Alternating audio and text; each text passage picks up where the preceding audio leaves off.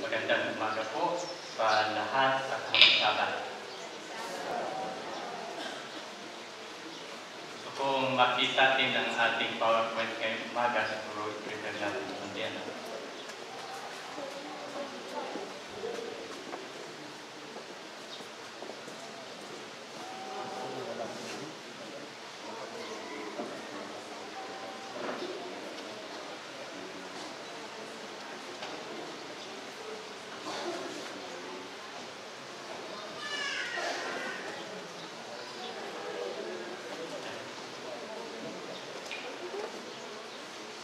Okay, maraming salamat.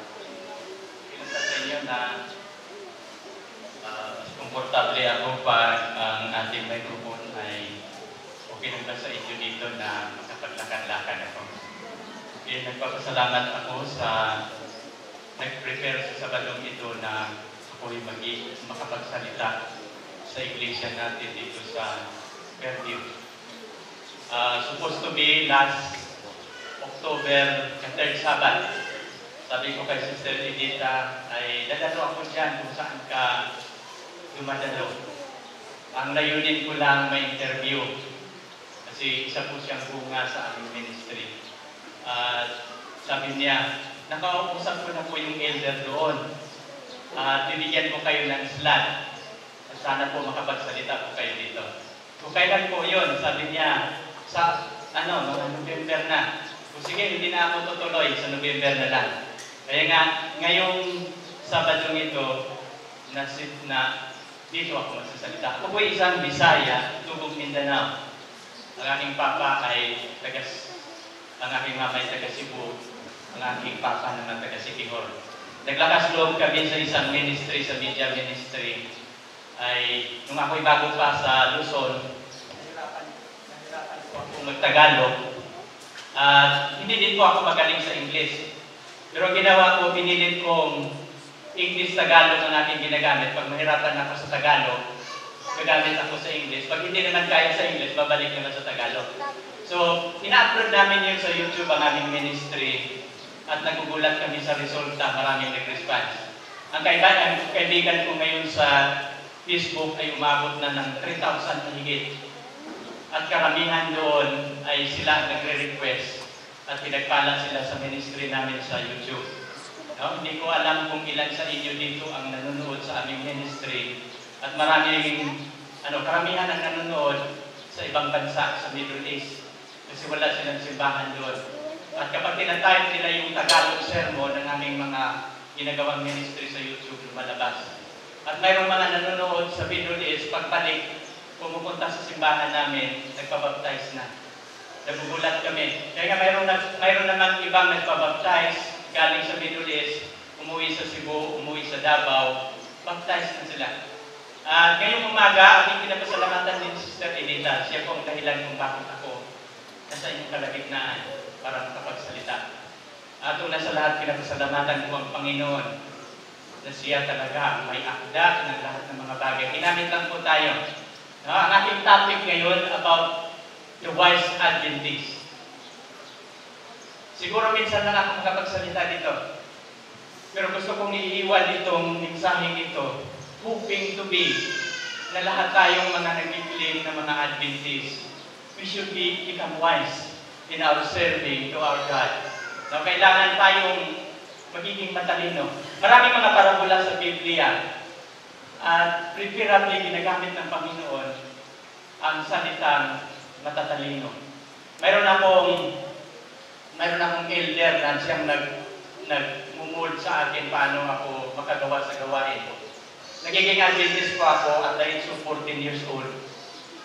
Dumalong po ako first time sa Seventh Day Adventist at yung pagdano ko, nabaptize po ako doon. At ang aking karanasan kung paano ako nabaptize, hindi katulad ng iba na napakinggan ng ating mensahe. Ako po, pagdalo ko po sa Seventh Day Adventist, ay mayroon pong baptism doon. 20 po yung nabinyagan, bibinyagan. Pero mayroon pong bumulong sa akin na malinaw. Narinig ko yung tinig, sabi niya, sasama ka sa kanila. Hindi ko po naintindihan yung about baptism. Ang akin lang narinig, sasama ako sa bibinyagan. nag-umpisang tumibok ang aking puso kasi invited lang ako ng aking lolo na Adventist at the time. Pero hindi ko mapipigilan yung kanya, kanyang pagtibok. Inadmit ko si Lolo three times. Lolo, gusto kong sasama sa kanila. Yung aking Lolo hindi maniniwala. Kasi maraming bisis akong inaalok sa Bible study, palagi, palagi ko siyang tinatakasan. Nangako lang ako na next Sabbath sasama ako sa iyo. Pagdalo ko doon, nangyayari na baptism at mayroong malinaw na boses na bumubulong sa akin, sinunod ko po yun ng walang tanong. Hindi ko po naunawaan ang mga bagay na ating dinidesisyonan. Pero nililid out ako ng Panginoon, tinatawagan ako sa kanyang gawain. Yung lulo ko na sinamahan ko siya po, sabi niya, lalabas muna tayo sa church kasi hindi mo naintindihan ang iyong sinasabi. Lahat ng bibinyagan dito ay ma-Bible study mo na ikaw hindi ka nakakaranas. Doon kami sa ilalim ng puno ng nangka. Doon kami nakaupo. Sabi niya, naintindihan mo ba yung iyong sinasabi? Ay hindi po basta-basta ang baptism. Pero sabi ko, Lo, kung mayroon mang magagawa ka, gagawin mo. Kasi ngayon na, gusto kong panahon na ako magpabaptize. Sabi niya, sige, mangako ka sa akin na pagkatapos mo mabaptize, mag-Bible study tayo. No? At that time, siya nangako sa akin na siya mag-Bible study. Isang bisis lang po kami ng Bible study. Nagkahiwalay po ako ng, kami ng aming lolo. Malayo po ang kanyang tirahan. Hindi ko na siya napupuntahan. At uh, alam niyo nung nalaman ng kapitbahay namin, kasi 3 kilometers, uh, 3 kilometers away, yung simbahan, nung nalaman ng elder doon na ang devoted Catholic, kasi ang aking papa at mama, they are devoted Catholic. Kursilista sila pareho. At inalok na nila ng Bible study, hindi nagpa-Bible study ang aking magulang. And here's come a time na ang kanilang anak nabaptize sa Seventh Day Adventist. Inalagaan ko ako, doon ko ako niya tinuturuan paano mamahalin ang Biblia, paano babasahin, binabayan ako, paano hanggang dumating kami sa punto paano mag-Bible study. At nagdidibot po siya ng isang time na tuwing linggo, ibibigay niya ang araw na yan sa Panginoon. At sinasama ako sa Bible study. John, linggo na, mag-Bible study na tayo. Whole day po yun, ang aming Bible study. At doon namin nakikita ang aming, ang kanyang nadala sa Panginoon, pamilya, pamilya, pumapasok sa iglesia. Nakikita ko sa kanya yung sincerity, how he gave Bible study. Pag magawa siya ng desisyon, nakikita ko kanyang luha, tumutulong sa harapan ng aming binabay ko sa dihan. Sabi ko sa Panginoon, how, sabi ko sa Kanya, Panginoon, gusto kong magiging ganito. Ang saya pala ng inyong gawain. At hiningi ko sa Panginoon, sabi ko, Panginoon, ikaw ang nagbigay ng kaloob. Pero kung mayroon kayong kaloob na ibibigay, yung kaloob na mga ngaral sa inyong gawain. At alam ninyo, lahat ng hiningi ko sa Panginoon, pagpatungkol sa kanyang gawain, binibigay ng Panginoon. Right away. No? Nung ako po'y bago pumunta dito sa Luzon, ako po'y nagbubukid na. Nagpapasalamat ako kay brother Darwin. Si Darwin ay, ano po yan, roommate ko yun sa Mountain View College. Magka-roommate po kami yan. No? At nung bago ako uh, kahapon ng isang araw, sabi niya, ikaw ba ito, John? Magkakilala tayo dati, magkita tayo bukas. Sabi, iniisip ko, sino kaya itong Darwin? Iniisip ako ng mga kakilala ko dito, ay sa Mindanao, hindi ko talaga naisip si Darwin na roommate pala. So, mayroon pa siyang katabi na dati ng 1,000 Missionary Movement, nalimutan ko lang yung pangalan sister. No, pero hindi pala, mayroon pala akong kakilala dito sa lugar na ito. Supurihin po natin ang Panginoon. No? Ngayong umaga, nag-umpisa po ang aming media ministry, Panginoon po ang nagpasimula. At ganito po yun. Mayroon pong kunting pera kaming inaasahan ni Mrs. 50-50 kasi ang, ang lupa ng aking biyanan may ano na, marimata na sa bangko. Sabi nung barangay kapitan, isang buwan na lang ang inyong lupa, maririmata na yan ng bangko. So, pag hindi yan mabibinta natin sa iba, wala na kayong pag-asa. Lumuhod po kami ni Mrs. Sabi niya, Panginoon, huwag ninyong ipahintulot na hindi namin mapakinabangan yung lupa ng aming tatay. Kung inyong ipagkaloob na mabibinta siya, kalahati ng aming share, ipagkaloob namin sa gawain. Pero hindi namin ibibigay sa church. Kasi marunong naman ako mangaral, bibili ako ng mga equipment para sa pangangalan. Doon nangyayari yun, after a week, mayroon ng buyer. Napakabilis. No? At uh, after three weeks, nagkakaroon na kami ng hatian. Kalahati noon, binili ko ng camera, binili ko ng laptop, at binili ko ng projector. Hoping to be na mga ngaral na ako. Mayroon po akong pangarap, sabi ko, Panginoon, medyo high-tech ng panahon ngayon. Gusto ko ng aking natutunan sa evangelism. Ilalagay ko sa DVD. At saan man ako pupunta, ipamimigay ko ang DVD, walang bayad. Basta makakatulong lang ako ng inyong gawain. Pero alam niyo ang, ang Panginoon, mayroon tayong mga pangarap, pero God has a better plan. No? Nang nag-crusade ako sabay sa pastor ng UP sa Tagaytay, matatapos na ang crusade nila, si Pastor Amurao, nag-crusade, kinakaber ko yun ni Sir Win. At habang kinakaber ni Sir Win, pag uwi, ang tagal kong magsisermon, madaanan pa ako nila ni Sir Win. Nagkakaroon siya ng interest, sino ba itong nagsisermon dito? Ang tao, ang kalsada. So habang nagsisermon kami, tapos sabay ang aming baptism ni Pastor Amurao. At nangyayari sa tulong ng amin ng Panginoon, mas marami ang aming baptism kay Pastor Amuraw, nagkakaroon ng interest Sir Win sa akin. Kasi kinakaber niya ang mga pastor sa UP, nagkakaroon siya ng interest na i-cover din ako niya sa kanyang studio. Diyan nagpasimula ang aming ministry. No? Marami po kaming speaker sa studio ni Sir Win. Siguro kung hindi ako nagkaano, nagkamali na sa 20 plus. Isa po ako sa kanyang speaker. At lahat naming video, ang pangarap ko lang, ilagay lang sa DVD para ipamimigay. Pero ang Panginoon mayroong malawak na plano sa gawain. Binigay, ilagay po niya sa YouTube, sa Facebook, at nagbubunga ito ng marami. Sa mga YouTube ko, sa mga YouTube videos ko, siguro hindi pa nakapanood yung iba, mahaba. Ang aking 666, ilang oras yung sister? 2 hours and 24 minutes.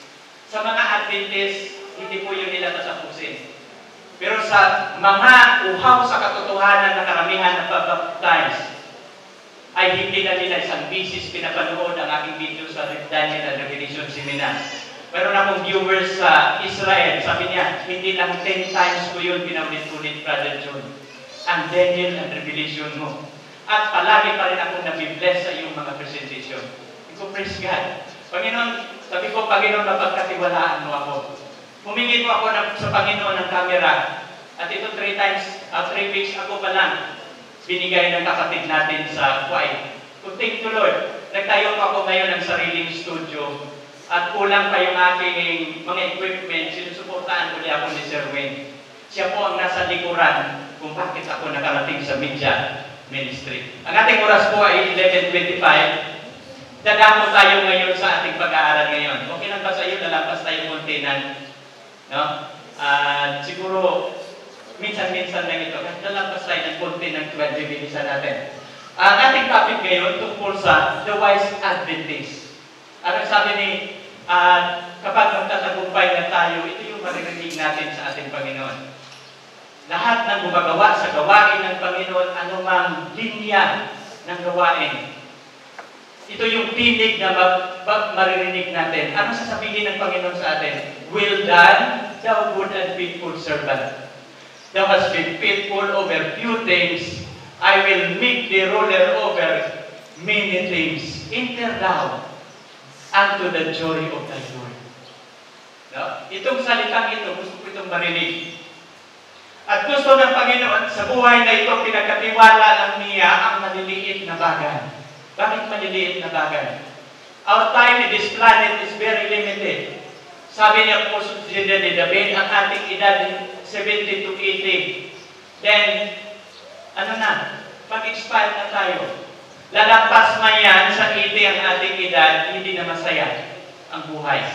Ito yung klase ng ano, maliliit na bagay, maliliit na panahon ang bibigay, scope of time na binigay sa atin, napaka-exit. Pero gusto ng Panginoon, magiging tapat tayo sa kanyang panahon na binibigay. Kami sa media ministry, gusto namin na walang nasasayang na panahon. Alam ninyo ang aking trabaho, hindi pa ako connected sa ating denomination. Hindi po ako connected sa Hope Channel. No? At simple lang ang aming ministry. Ako'y tricycle driver lang. Kasi frustrated, ano ako, theologian. Nag-aaral po ako sa MBC, magiging pastor, hindi po ako nakatapos. Roommate po kami ni Darwin. Siya nakatapos, nasipag yan si Darwin. Ako ay medyo full-full konti, na pamayabas. No? Ang mga grades ko din, nahirapan ako kasi working ako, mababa din ang grades. Pero ano man ang aking entry sa Biblia, nadadala ko. Anong natutunan ko sa Mountain View College, na-apply ko nung lumabas ako. At kinukomment ko ang aking simpleng talento. Alam niyo, nagbubukid na ako sa amin. Sabi ko, Panginoon, balik farming ako. Pero nung nanawagan ang 1,000 missionary na sino mang kabataan mag-join, kasi presidente ko ako sa district, kinumit ko ang aking sarili sa ilalim ng puno. Panginoon, iiwanan ko itong naararo na, tataniman na lang, gagawa ko sa inyong gawain. Dadalhin mo ako sa gusto ko. At kayo ang, ano, mag, mangunguna sa aking buhay. At ang hinihiling ko sa Panginoon, Panginoon, mula ngayon, 19, way back 1996, sabi ko sa Panginoon, bawat taon, bibigyan mo ako ng isang kaluluwa na dadalhin ko sa iyong paanan. Pero way back from 1996, hindi ako nakaranas na binigyan ako ng Panginoon ng isang kaluluwa. Kapag magpuproceed ako, magkukuha ako ng desisyon, marami po ang nag-response. At kahit sa internet, nang nadala ko ang mensahe sa internet, daming nagpapasalamat, nabibless. No? Kaya nga, sabi ko, Panginoon, mapagkatiwalaan mo ako, bagamat ako'y hindi tapos. Na ating titingnan, may ano dito, yung faithful servant. Ito yung kailangan natin maranasan. Pangalawa, yung ano ng Panginoon, enter thou unto the joy of thy Lord. Ano ba itong kagalakan ng ating Panginoon? Sa sulat ni G. White sa The Great Controversy, 674, With an unutterable love, Jesus welcomed His faithful ones. Ano mapansin niyo? Pagdating natin sa langit, si Jesus mismo ang mag-welcome. Sabi ni G. White, ang ating translation from planet Earth to heaven, it's about seven days. Ang ating, ano, at pagdating natin doon, si Jesus mismo ang magbukas sa pintuan ng langit. At kapag bubuksan ni Jesus Christ ang pintuan ng langit, siya mismo ang mag-welcome sa atin. No? I-welcome niya. Sabi niya, uh, magsipasok kayo kayong pinagpala mula ng tinatag ng sanlibutan. Manahin ninyo ang kaharian, i, ano, inihanda sa inyo, buhat pa ng itinatag ang sanlibutan. At sabi ni Lee White, habang tayo papasok sa gate na yon, sa gate of heaven, ay madadama natin na tayo ay gayong karapatan. Bakit natin madadama? Dahil ito ang pangako ng Panginoon sa kanyang bayan. So sabi niya, uh, He welcome His faithful ones to the joy of their Lord. What is the joy of the Lord? The Savior's, the Savior's joy is in seeing in the kingdom of glory the soul that had been saved by His agony and humiliation. Kung mapapansin ninyo, ito yung kagalakan ng Panginoon. Kapag makikita niya papasok na sa kanyang kaharian, yung resulta ng kanyang ano, paghihirap, yung kanyang agony, at sa kanyang humiliation, ay and the redeemed will be sharers of His joy. Napapansin, nilagyan ko ng dilaw yung sharers. Kasi bawat maliligtas, kabahagi din siya sa kaligtasan para sa ibang nilalang. Kung napapansin ninyo, at uh, ito yung nagugustuhan ko sa media ministry and I still expecting. Siguro si Sister Edith, ay Sister Edith ay nakikita tayo personally. Pero mayroon pang mga lumapit sa Panginoon na ini-expect ko pagdating sa langit lalapit sa akin. Brother Jude, ngayon lang tayo nagkita. Malapit sa trono ng Diyos. Pero ako nagpapasalamat sa inyong ministry. Kaya nga, minsan ito yung nagbigay inspiration sa aming gawain ni Sir. Sabi, alam niyo si Sir Win, napakabuting partner ko sa gawain. Sabi ko, Sir Wayne, ang aking mga topic ay napakahaba. Mayroon akong topic na 3 hours bago ko matatapos. Mayroong 2 hours. Wala ako karamihang topic na isang oras lang. No, sabi nga ni Sister Edita, sabi niya, una kong pinanood ang plan of salvation ay hindi ko pala napapansin na mahigit na pala isang oras. No, ganun. Pero napapansin namin, natuklasan din namin na YouTube ministry pala para siyang aklat. Kapag ang viewers mo, hindi makakayanan nila yung tatlong oras, kalahating oras lang, pwede niya itigil. Pagkatapos, iiwanan niya, magtatrabaho siya, babalikan niya uli yun, tomorrow, at mag-umpisa siya doon sa 30 minutes, tandaan lang niya yung mga minuto, sa gitna na siya mag-umpisa, pwede pala ganyan. Sabi siya, brother yun, sabi ni Sir Ben, sabi niya, Kuya Jun, ang, ang ating ministry sa YouTube, mayroong God's providence. Kasi natuklasan ko, para pala ang YouTube pala para sa aklat. Hindi mo na natapos ngayon, matatapos mo yun sa susunod na araw. Kaya nga, kasi ang aking prinsipyo, pag hindi ko matatapos ang aking presentation, pag puputulin ko yan, mahihirapan ang aking viewers magkahanap ng karugtong. Ma, manilid, ma, mawawala sila. Hindi nila masubaybayan ang aking turo. Kaya lahat ng katanungan, lahat ng paninira ng ibang reliyon, sinireconcile ko na yun sa isang topic.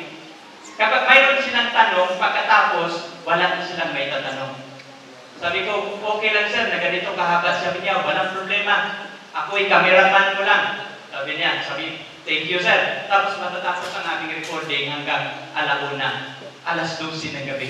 Pero kami masaya. Si Sir Wayne, pagkatapos sa aming recording na gano'n, i-ano pa niya yan, i-upload pa niya sa YouTube. Mas malaki ang pagod ng aking kapartner sa gawain.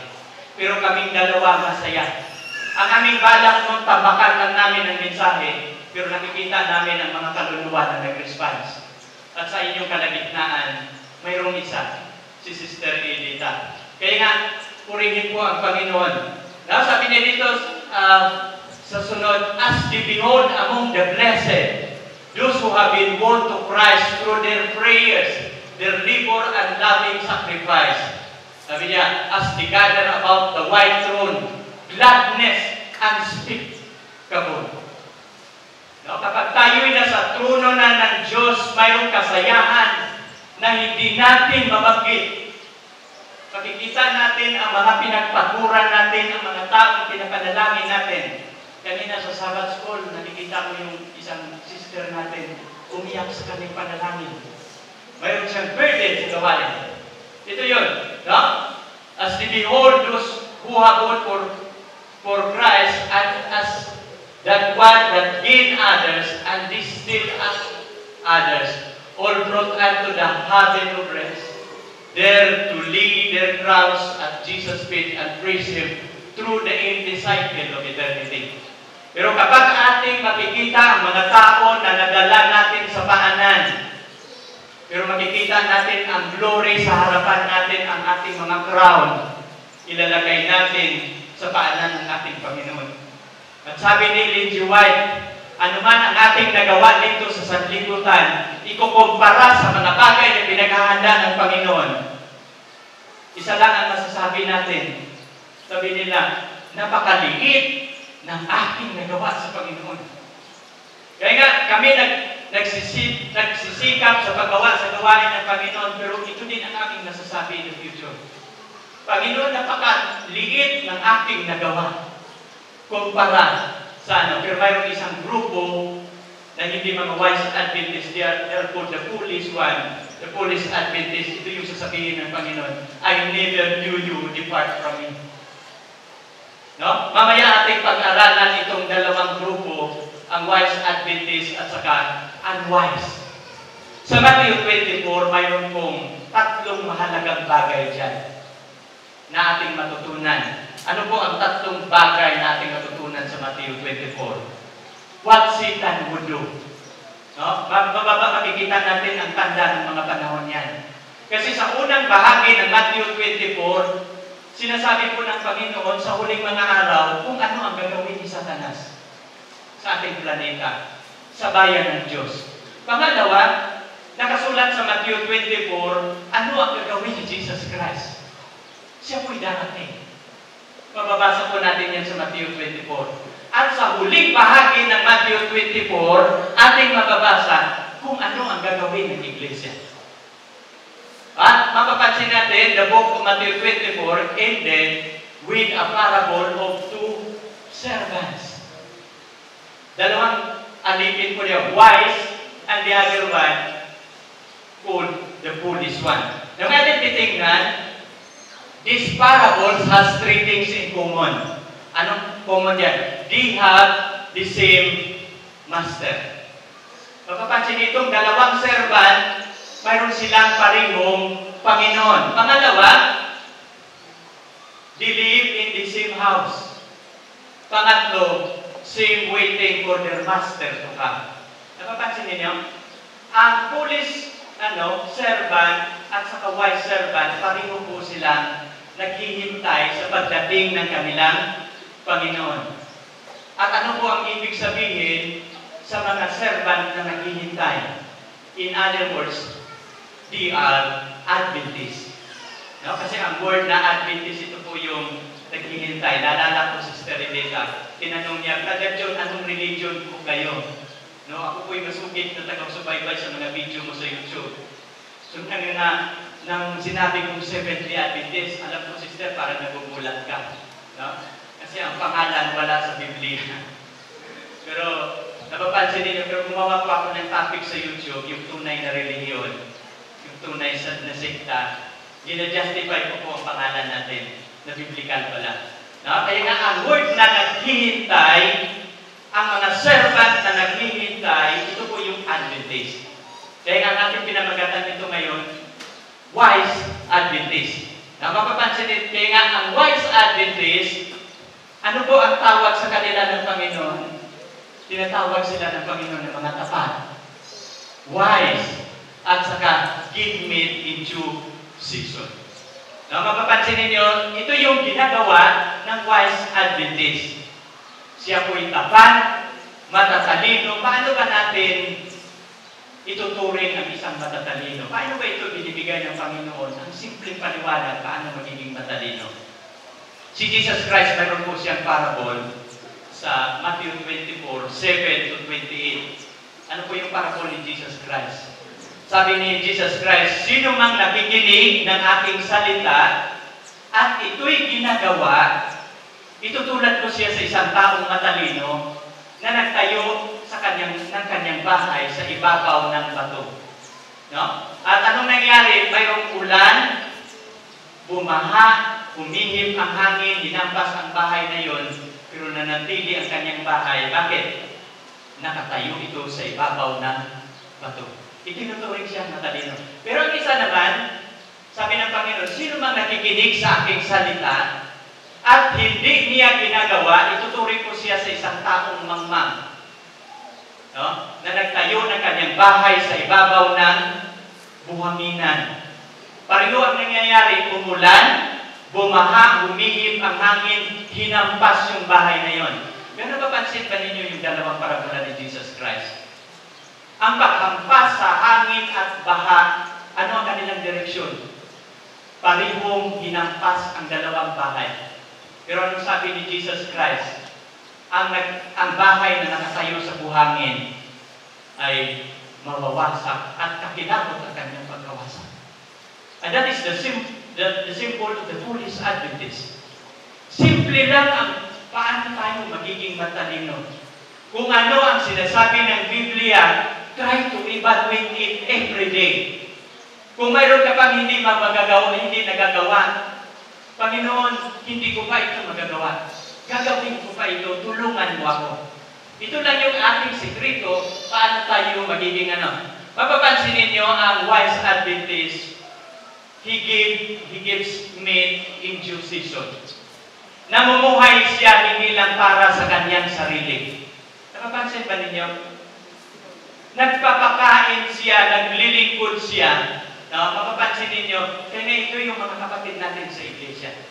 Ang ating mga Sabbath school leader, ang ating mga pastor, they are the faithful servant of the Lord. Nagpapakain sila. Kung hindi tayo kasama sa mga nagpapakain, it might be na hindi tayo belong sa mga wise Adventists. No? Pero yan ang kanilang ginagawa. At the right time, they give the present truth. No? Ano man ang present truth? Paano mo ba mapaliwanag, Brother John, ang present truth? Kasi mayroong mga present truth message. Simple lang unawain kung ano ang present truth. Kung saan si Jesus sa kasalukuyan ngayon, at sinisermon mo ang ginagawa ni Jesus Christ, that is present truth. Nakukuha ninyo? Ano man ang kalagayan ng ating sanlibutan, kung an ano ang nakasulat sa propesiya, kung sinusubaybayan mo ang galaw ng sanlibutan, at sasabihin mo ito sa mga tao na dapat silang maghahanda, that is present truth. Kaya simple lang ang ating pag-aaral sa present truth. Kasi may gabay ng Panginoon sa aklat ng kanyang propesya. No? What exactly is meat in due season? Paano natin ito maintindihan? The message is the reflection of the messenger. Mapapansin ninyo, at, at ang mga messenger, doon po napupurma ang kanilang pag-uugali. At alam ninyo, nung ako nag-umpisa sa gawain ng Panginoon, marami po akong kahinaan. Marami po akong sinasabi sa pulpito na hindi ko ginagawa sa sarili. Pero dumating po ang panahon na nahihiya na ako na hindi, hindi makikita sa sarili ang aking sinasabi sa pulpito.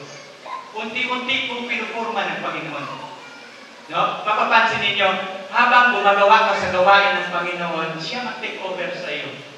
Ipupurma ka niya unti-unti sa nais niya, saan kanya ihilid, saan kanya igagay. May mga bagay po na tayo hindi naintindihan. Pero natutunan ko sa gawain ng Panginoon kung ano ang kalooban ng Panginoon, gagawin mo lang kahit hindi mo maintindihan. Pero unti-unti kanyang ilid sa kanyang kabanalan. Sa paglilingkod ng malapit sa kanya ang inyong relasyon. Kaya nga ang pagiging ano, uh, messenger, he practices what he preaches. He praises what he practices. At alam niyo, karamihan sa mga kapatid nating masipag sa gawain, maingat din sila, hindi sila katitisuran. Sila po'y maiingat kasi naranasan din nila, napag-aralan nila kung paano iingatan ang mga taong dinala ng Panginoon. Ang atin pong iglesia, katulad po ito ng hospital. No, napapansin ninyo yung parable of the Good Samaritan. Sa parable of the Good Samaritan, si Jesus po yung Good Samaritan. Tayo po yung nabiktima sa tulisan. Niransak po tayo ng kaaway at iniwan halos patay na. Dumating po ang Good Samaritan, dinala sa bahay panuluyan. At yung bahay panuluyan ng ating iglesia po yan. At sabi niya, sabi ng Good Samaritan, itong salapi, ibibigay ko sa iyo kung kulang pa yan. Pagbalik ko, babayaran kita. Sino bang nangako na babalik? At saan niya iniwan ang taong sugatan? Marami pong mga taong dadalhin ng Panginoon sa ating iglesia. Hindi po sila mga perfecto. Marami po sila kahinaan. Ang ating simbahan, ito po'y bahay pagamutan ng Diyos. Dito po, tayo po ang magpapagaling. Kaya nga, hindi ko lang alam, sister, kung paano kayo iningatan ng ating mga kapatid dito. Nagiging produkto lang po kayo ng media ministry. Pero mayroon po kaming mga reports na mayroon kaming nadadala sa na, na dad, ano, nalilid ng mga makasalanan papunta sa ating iglesia pagdating ng titisod sa loob ng ating iglesia. At mayroon pong nangyayaring ganon. Pero sana mayroong pag-iingat na ating gagawin. Kung ano ang ating sinisermon, yan po ang ating ginagawa. Kung yan ang ating, kung ano ang ating ginagawa sa harapan ng Panginoon, yan po ang ating isisermon. Yan po kung paano tayo magiging faithful at saka wise Adventist. Para po natin maintindihan paano tayo magiging wise, babalikan po natin ang sulat ni Propeta ni Solomon, ni Haring Solomon. Ang pagkatakot sa Panginoon ay pasimula ng karunungan. Paano po tayo magiging matatalinong lingkod? Mag-umpisa po tayo dito. Ang pagkatakot sa Panginoon, ito po'y importante sa paglilingkod. No? To reverence and to respect the power of God. Ang pagkatakot na sinasabi, hindi po yun manginginig kang natakot na lumayo. Ang pagkatakot sa Panginoon, it means reverence and respect. Kikilalanin po natin ang kanyang kapangyarihan. No, the clearest definition of the fear of the Lord is the story of Abraham. Paano ba natin pag-aralan ang buhay ni Abraham? Si Abraham ay isang taong mayroong pananampalataya sa Diyos. Itinuturing na matuwid kahit wala siyang gawa, di ba? Pananampalataya lang siya. Nag-umpisa sa pananampalataya si Abraham. At tinatawag siyang ama ng mga mananampalataya. So siya po ang unang tinawagan at siya po ang ama ng Israel. Kung ninyo, sinabihan, humingi siya, nangako ang Panginoon, bibigyan ng anak ng binigyan. Hiningi ng Panginoon ng kanyang anak na ihahandog sa kanya. Na siya mismo ang papatay. Mapapansin ninyo ang kanyang kalagayan, three days journey mula sa kanyang tahanan papunta sa bundok ng Moriah. Tatlong araw silang maglalakbay. At bakit ginawa ito ng Panginoon? Kasi ang utos ng Panginoon, that is things of loyalty. Susubukan ka ng Panginoon. Susubukan ang ating pananampalataya. At sabi ni Lindsay White, individually, ang pagsusubok ng ating Panginoon. Kung paano niya masusubukan, katulad sa pagsubok ni Abraham. At mapapansin ninyo, mabait na bata si Isaac at masunurin sa magulang. Malapit sa kanyang ama. Palaging kausap. Habang nag-uusap sila, sabi ni Isaac, Father, paghahandog tayo sa Panginoon, but where is the? Pero sabi ni, ni, ni Abraham, God will provide the.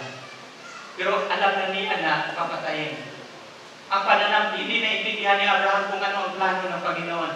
Masakit sa kanya ang hiningi ng Panginoon. Pero kabagamat hindi niya naintindihan, hindi niya alam, gagawin niya dahil sinasabi ng Panginoon. That is the example of the fear of the Lord. Ito yung halimbawa paano tayo magkakaroon ng takot. Ano man ang inoobliga ng Panginoon, malaki man ito, maliit, try to obey it without questioning. Kasi lahat ng ipapagawa ng Panginoon, ito po'y para sa ating kabutihan. Katulad sa babae ito, marami siyang hindi naintindihan. So, ito pilit niyang abutin ang kamay ng Panginoon. No? Kaya nga sa, niya, keep moving forward ang ating pag, paglilingkod katulad po nito. We will keep on ano, moving forward, keep climbing higher, keep trusting firmer, keep drawing drawing nearer, and God, if God could bring it, could bring us to it, God could, could bring us through it. No, mapapansin ninyo, gagabayan tayo ng Panginoon. Ma bagamat hindi natin naintindihan ang mga bagay-bagay sa ating paglilingkod, hindi na tayo magtatanong. No, marami pong nagtatanong sa mga nag, nag, nag ano ng mga topic. Brother John, kung hindi mo ba matatopic ito, hindi ko ito naintindihan. No? Pero marami akong mga bagay na noon hindi ko naintindihan. Ang Panginoon nakipag-communicate sa pagbubulong. Noon nang dumating na sila sa bundok ng Moriah, nakahanda na lahat. At ready nang papatayin ang kanyang anak. Hindi naintindihan ni Abraham. Pero Panginoon, ito na ang handog na hinihingi mo. Papatayin ko na ang aking anak. Pero nang ginawa niya ni Abraham, ang may tinig na narinig si Abraham, Lean not your hand upon the lad, for now I know that you fear God. The fear of the Lord is the beginning of wisdom. Ito yung halimbawa sa taong may takot sa Diyos. Hindi niya naintindihan ang hinihingi ng Panginoon. Pero inap na sa kanya na ito'y narinig niya sa Panginoon. Marami tayong mga bagay-bagay na hindi naintindihan sa Biblia. Maraming mayroong mga pagsubok kayong naranasan hindi ninyo naintindihan. But keep on going forward. Patuloy lang kayo. Huwag kayong susuko sa inyong pananampalataya. Maaaring ito'y pagsubok sa inyong pananampalataya katulad ni Abraham. Pero sabi ng Panginoon, For now I know that you fear God, seeing that you have not withhold your son, your only son from me. At ang ginawa ni Abraham, hindi alam ni Abraham. Ito po'y nagsimbolo sa isang ama, sa, sa nagmamayari sa universe, na willing din siya ibibigay ang kanyang anak para sa kaligtasan ng ating planeta. Now, we will give to God what He asks, even though we didn't know the reason why. If there is something you're holding onto. Kaya mapapansin ninyo, hindi alam ni Abraham ang kahulugan. Pero kung paano nakikita natin ang ginawa ni Jesus Christ doon sa cross, madali po natin maintindihan. Kasi before namatay ang ating Panginoon, willing si Abraham ibibigay ang kanyang kaisa-isang anak. At ito po yung ginawa ng ating Panginoon sa Kalbaryo sa cross. Isa pang kahulugan, paano na paano natalata sa Biblia, paano tayo magiging wise? The wise shall, shall inherit ano? Glory. Totoo po yan. Sino bang pinangakuan ng Panginoon na magmamana sa kanyang kaharian? The wise virgins. No? The wise shall inherit glory. Magmamana sila ng kalwalhatian. Ngunit ang kahihiyan magiging ganti ng mga mamang. Ang kahihiyan, ito po'y magiging ganti ng mga mangmang. Whoso keepeth the commandments shall feel no evil, shall feel no evil things. And the wise man's heart discerneth both time and judgment. No, gusto kong, gusto kong ipapaliwanag ito mam- mamaya. Sabi niya, whoso keepeth the commandments shall feel no evil things. Wala daw silang maramdamang masamang mga bagay. At ang puso ng mga matatalino, di-discern it both times and judgment. At alam niyo sa Biblia, mayroong sulat po sa Apostol Pablo sa unang Tesalonika o Second Thessalonica chapter 5. Ang hindi nakakaalam sa panahon ng pagdating ng Panginoon ang mga mangmang lang. Alam ng mga matatalino kung anong panahon darating ang kanilang Panginoon. No? Sapagkat sabi ni Apostol Pablo, hindi po tayo anak sa kadiliman.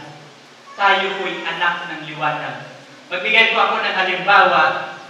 Si Noah, nung dumating ang baha, alam ni Noah mayroong baha. Naghanda kasi siya ng daong. Pero ang hindi nakakaalam sa baha, ang mga tao sa paligid niya. Nung nagpadala ng sinunog ng Panginoon ng Sodoma at Gomora, anong nangyayari? Alam ba ni Abraham na susunugin ang Sodoma at Gomora? Alam ni Abraham, nagkakaroon pa siya ng bargaining. Panginoon, pag mayroong 50, gugunawin mo ba ang Sodoma at Gomora? Sabi ng Panginoon, kung mayroong 50, hindi. No? Nagkakaroon siya ng bargain hanggang 10. Pero napapansin ba ninyo, sa Biblia, alam ng bayan ng Diyos kailan darating ang Panginoon. At ito din ang mangyayari sa huling kapanahonan. Marami sa ating mga Adventist hindi alam ang takbo ng kapanahonan. Sila'y naniniwala na marami pang mga panahon. At pinag-aralan ko yung 7,000 years pattern. Siguro magiging available yan sa YouTube sa darating ng mga panahon. Sa sulat ni. White, ang ating sanlibutan, nang pumasok ang kasalanan, bibigyan lang ito ng anim na libo. Nung namatay, binasa ko sa sulat ni. White, nung namatay si Jesus Christ doon sa cross, that is 4,000 years na kasalanan. At malapit na mag-expire, 6,000 years. Kung tayo naniniwala sa sulat ni. White, ay hindi na dadarating ng ano, 100 years ang ating kapanahonan. Nagising na lang tayo. Mapapansin dito, kaya nga sabi niyo, whoso keepeth the commandments shall feel no evil things, and the wise man's heart discerneth both time and judgment. Alam ng kanilang puso ang patungkol sa panahon. The message is the reflection of the messenger. Kaya mapapansin ninyo, ang sigaw ng tatlong anghel, at ito po ang tinig ng Adventism po yan. Sigaw natin mga Seventh-day Adventists. Ano po ang sigaw natin sa mga wise Adventists? I saw another angel fly in the midst of heaven, having the everlasting gospel to preach unto them that dwell on the earth, unto every nation, kindred, tongue, and people. and sing with a loud voice, Praise God, and give glory to Him, to Him, for the hour of His judgment is come, and worship Him that made heaven and earth and sea and the fountain of waters. Mapapansin ninyo, pinagsama yung pagkatakot sa Diyos, glory, at saka hour of judgment. Kasi ito po ang ginagawa ng mga wise Adventists. Nagbibigay po sila ng babala no? sa mga panahong darating. So the wise Adventists, uh, masummarize po nito, always reading, always faithful.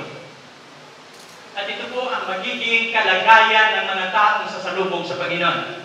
Uh, pwede ba natin ma mabubuhay itong isang microphone? Mapapansin ninyo, they are always reading and always faithful. Mapapansin ninyo, ito yung ginagawa ng mga wise Adventists. At gusto kong sasabihin sa inyong kalagitnaan, Palagi ko itong sinasabi sa YouTube. Mga kapatid, ang langit hindi po ito lugar na aksidente. O sa Bisaya, lugar na sulagma. No, masasabi mo na aksidente. Hindi ako naghahanda papuntang langit nung nakapasok ako. No, mapapansin ninyo? O tsamba, no? Tsamba pa ako na naliligtas, bagamat hindi ako nagsisikap. Salamat sa grasya ng Panginoon. Pero sa sulat ni Ellen G. White, hindi po natin masusumpungan ng ganon. Sa sulat ni Ellen G. White, sabi ni Ellen G. White, ang langit, hindi po ito lugar na aksidente o sulagma. No? By chance. Ang langit, inihanda po ito ng Diyos sa mga taong naghahandang papunta? Sa langit. Mayroon po ditong character formation tayong may pupurma. Gagayahin po natin ang ginagawa ng ating Panginoon.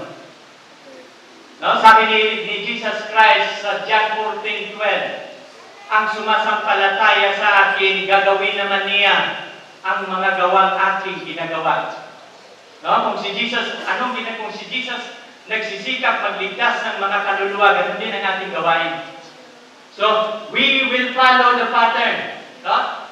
Whatever one's schooling in life, the first entry should be to win soul for Christ. Ito po yung ating first interest.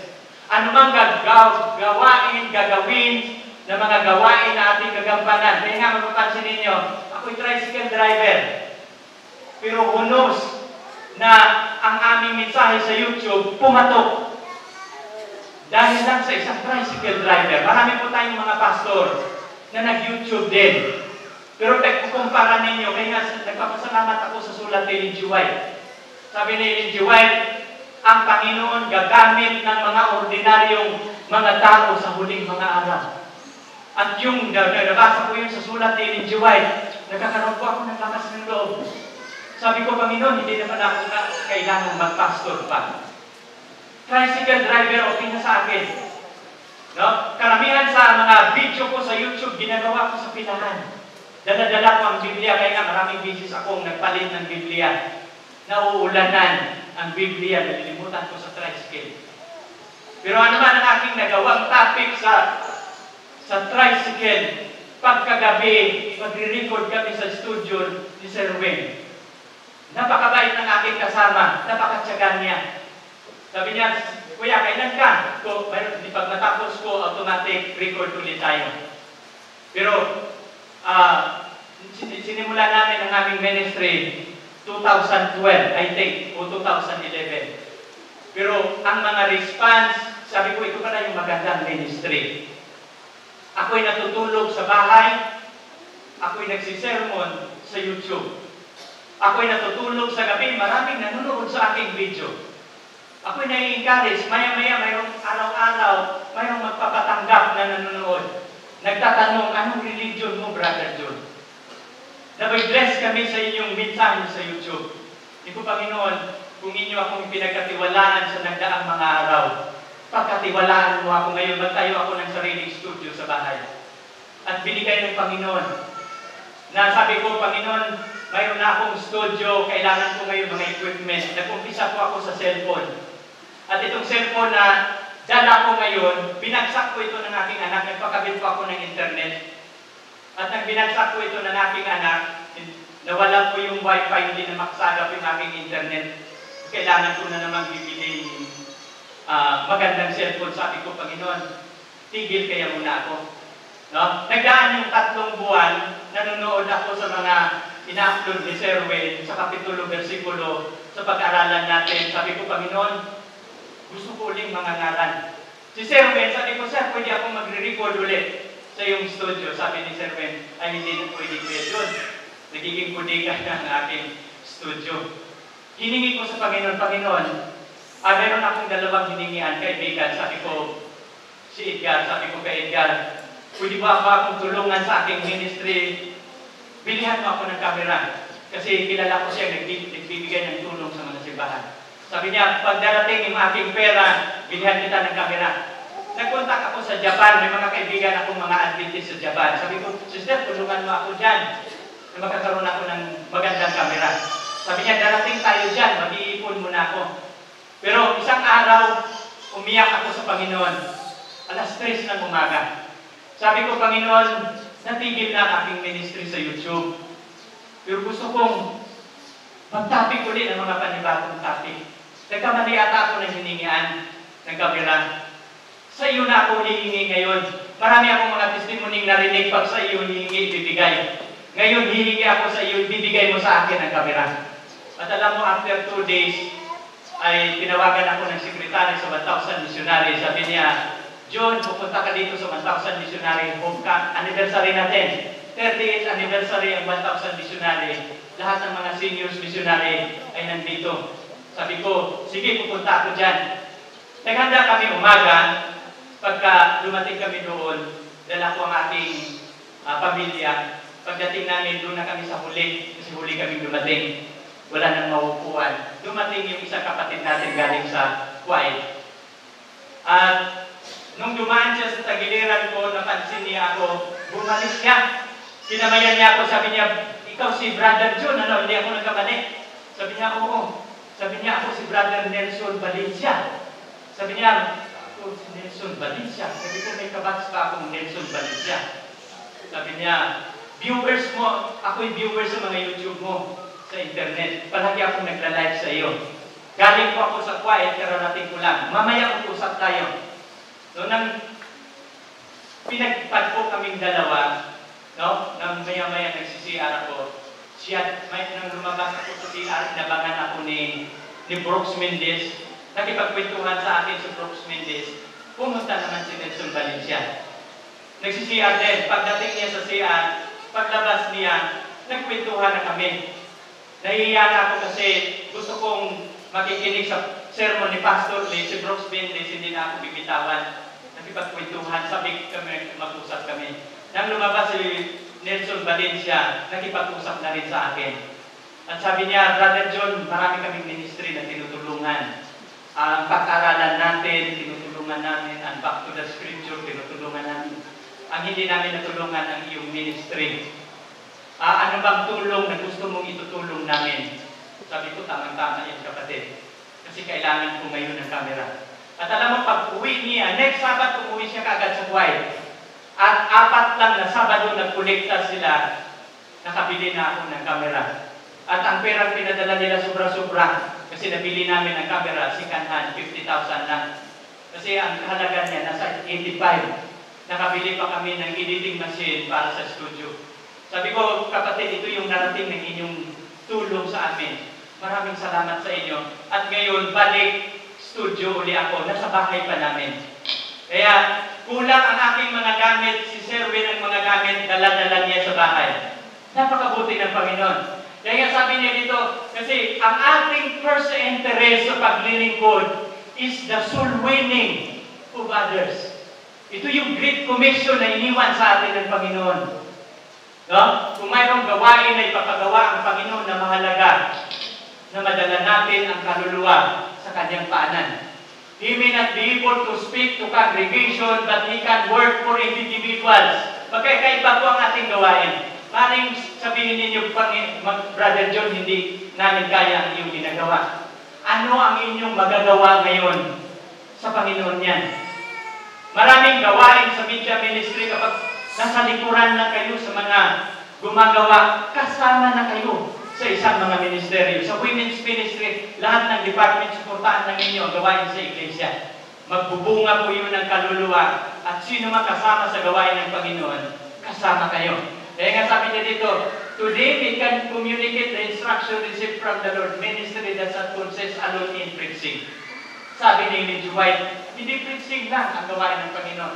Your job is what you feed for.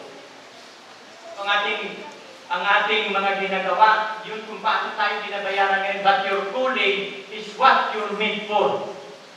Ang pagkatawag sa atin, ito yung nagpupurong, dito natin pinupurma ang ating karakter. At ang ating passport sa langit ay ang ating ano? Karakter.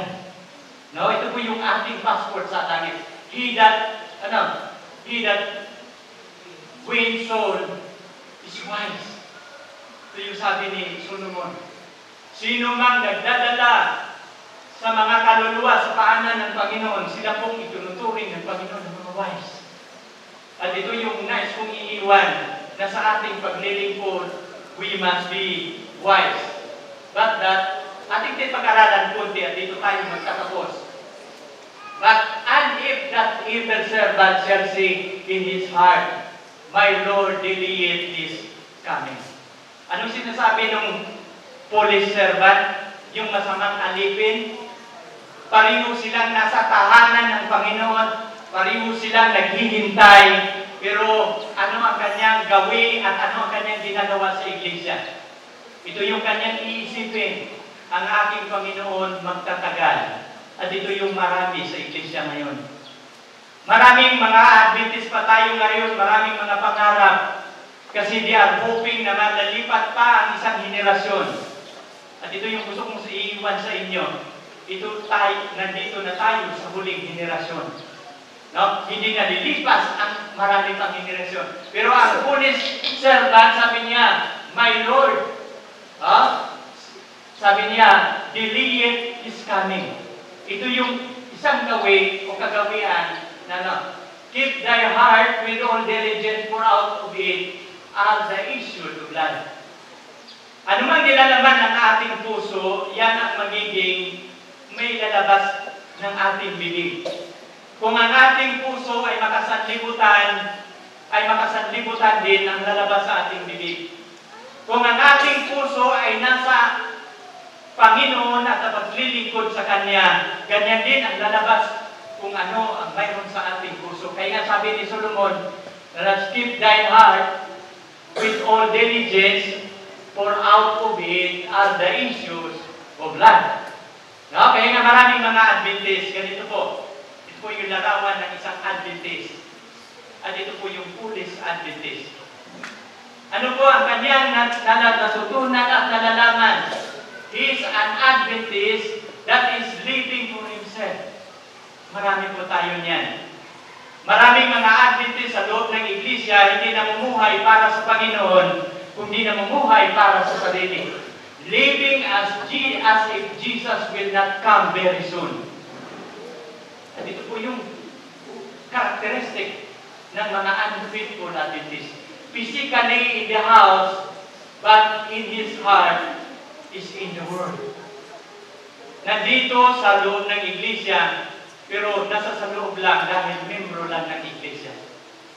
Pero walang gawain ginagampanan. Robbed of its sense of urgency. He has rejected the idea of the judgment and prophetic prophecy.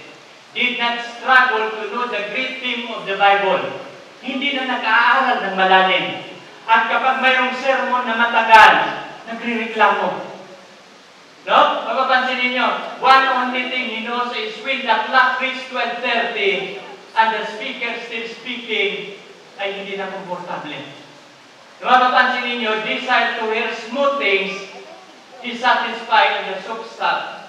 Ayaw niyang mga sermon na patama sa kanya. No? Ba, ito yung mga characteristic ng mga Adventist na mga hindi pa handa sa pagdating ng Panginoon. Then said he, Come!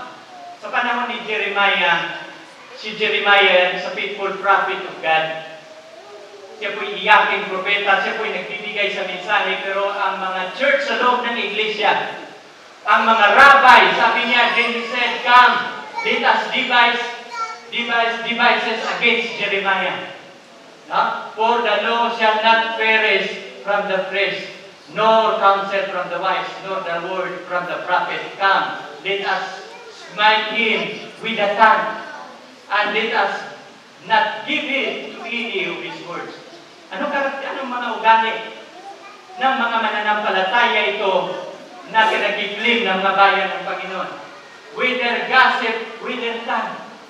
Kapag mayroong gawain, ay ang kanilang focus na pag-uusapan ang meaning ng ministry ng iba. No? Kinukundina ang gawain ng mga kapatid.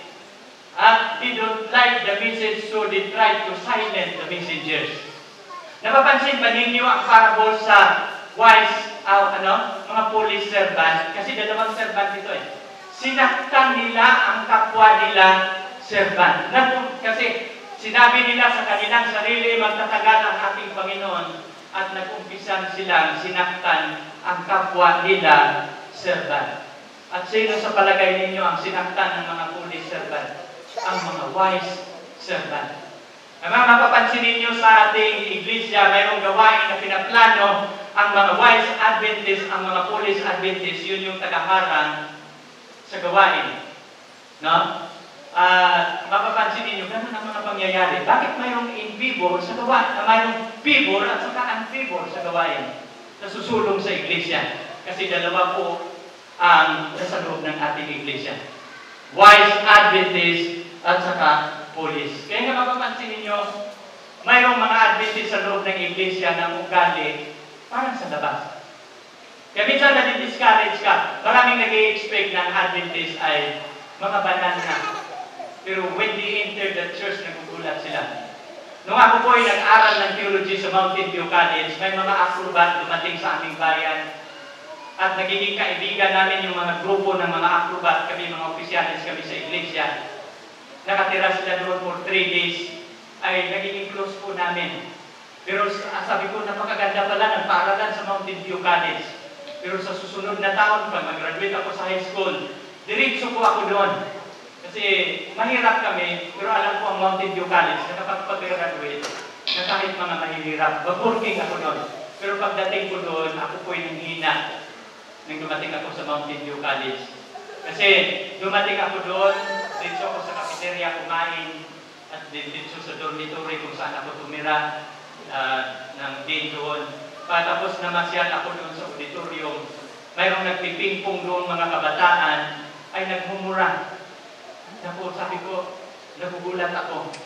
Ako ay hindi Adventist doon. Ako ay nagmumura. Pinagsikapan kong maiaalis ang aking pagmumura ang tagal. Dumating ako sa kolegiyo ng itinatag ng Panginoon, ang taas ng aking tingin. Kasi ang Mountain View College, kilala na doon sa katapos ang mga pastor. Pero pagdating ko doon, nagmumura yung mga kabataan doon, nag, nag, nagpipingpong. Nang lumo ako, Panginoon, ito pala ang larawan ng Mountain View College. Pero pinag-aralan ko ang Biblia ni Lynn White, ito pala yung realidad. Ha? Maraming mga taong hindi nababago sa katotohanan. Kasi hindi sinasabuhay. Wherever good works is begun, there is an evil doer or caliber ready to enter to this enter into dispute over forms or technicalities. Kaya mapapansin ninyo may mga gawain tayong ginagawa sa iglesia, kini-question ang mga technicalities. No? To draw mind away from the living realities.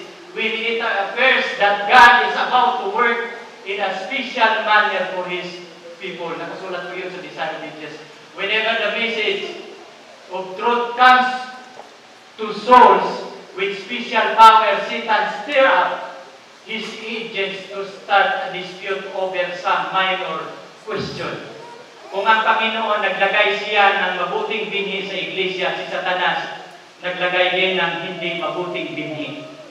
Kaya mapapansin natin bakit hindi pa sakdal ang Adventism kasi hindi talaga mangyayari. Sabi ni Lindsay White, mangyayari ba na ang iglesia magiging sakdal? No? Sabi ni Lindsay White, ang iyong ah, tinitingnan hindi mangyayari. Sapagkat sa iglesia, dalawa pong grupo dyan. Ang isa, nasasakdal sa pamamagitan ng dugo, yung isa hindi. Sapagkat may maraming mga unwise. Pero kapag paalisin na ng Diyos ang hindi tapat sa iglesia ito, papasukin naman niya ang mga tapat sa labas, then yan ang panahon ng iglesia magiging perfect. No? At ito yung hinihintay ng ating kapanahonan ngayon. Let them, let them not be enticed unto controversy that will work only through winning souls. The question that most concern us are, do I believe with saving faith on the Son of God? Is my life is in harmony with the divine law? Ito yung pinakatanong na dapat nating itatanong. Who are the drunken? Na mapapansin ninyo, ang mga unfaithful Adventists, hindi lang niya sinaktan ang kapwa niya alipin, ay sumama pa siya sa mga manlalasing sa labas at kasama nilang naglasing. Ano ba itong mga manlalasing? Napapansin ba ninyo sa Revelation 17, mayroong isang babae na mayroong hawak ng cup at nang hinawakan niya ang kopa, nilasing niya ang mga hari at ang lahat ng nananahan sa lupa. Nang binanang nababasa ko yung lahat ng nananahan sa lupa, sabi ko, maling kasama pala ako niyan. No? Pero sa mayroong exception na nakasulat, lahat ng nananahan sa lupa na ang kanilang pangalan hindi nakasulat sa aklat ng buhay ng kordero. Lahat pa ng hindi nakasulat sa aklat ng buhay, nalasing niya. Kaya nga, mayroon ding ma, ma, ano, mapapansin ba ninyo ang mga perfect Adventists, hindi sila nakahawaan ng babae. Ang 144,000, hindi sila nakahawaan ng babae. Ito po yun. Kasi lahat ng nananahan sa lupa, nalalasing ng babae ito. Pati ang mga unfaithful Adventists. Sumama sila sa labas sa mga manlalasing. Kasi they are worldly Adventists. Ang mga unfaithful Adventists, worldly Adventists po siya. As the storm approaches a large class who have professed faith in the third angel's message, have not been sanctified through the obedience of the truth, abandon their position and join the rank of the opposition. By uniting with the Word and partaking of the spirits, they have come to view matters in nearly the same light. Mapapansin ninyo, ito yung nangyayari siya. And when the test is broken, they are referred to choose the easy popular side, men of talent and pleasing address, who, are, who once rejoice in the truth, employ their power to deceive and mislead soul, be- become the most better enemies of the former brethren. Ito yung nangyayari sa mga unfaithful Adventists. Hindi lang sila kasamang naglalasing kasi tatanggapin nila ang mga programa sa Sunday Law sa darating na mga araw. No? Pipiliin nila magiging madaling pagpili na hindi sila mahihirapan kasi hindi sila sanay sa gawain. Hindi sila mahirap o hindi sanay sila sa mahirap. Kasi men of talent pleasing address. Pero mapapansin ninyo, magiging better enemies of the former brethren. No? Sabi niya dito, and he that wise shall shine as the brightness of the firmament. Firmament. And he that turn many to righteousness as the star forever and ever. Ito yung sinasabi ni Daniel, siya yung mga siya yung mga pantas, magliliwanag at magliliwanag sila katulad ng araw. No? And that turn many to righteousness as the stars of forever. Kaya mga kapatid, dito tayo magtatapos ngayong umaga. Ako nagpapasalamat ng ating kapatid, ang elder ng iglesia, binigyan ako ng slot. No? Ang aking layunin dito, dadalo lang. Sabi ko lang, sabi ko, makapos, makita ko lang personal si Sister Edith at may interview namin ng kunti. Kasi, napapansin ninyo si Jesus Christ, kapag mayroong pananampalataya na makikita ang ating Panginoon, hindi niya pabayaan yung aalis ang pananampalataya without any comments. Na napapansin ninyo yung humipo na babae sa kay Jesus? Sabi ni Jesus, sino humipo sa akin? Ano ni Jesus sabi ng babae, mahipo ko lang ang kalaylayan. Gagaling ako. At nagsisikap siyang ma- umabot na mahipo ang kanyang laylayan. Nung nahipo niya, damang-daman niya yung kapangyarihan dumaan sa mga being ng kanyang katawan. Sa, at nag-umpisa siya tumalikod, nagmamadali. Kasi gumaling na siya. Pero nung sabi ni Jesus, sino humipo sa akin? Tumingin ka agad siya sa babae, eye to eye.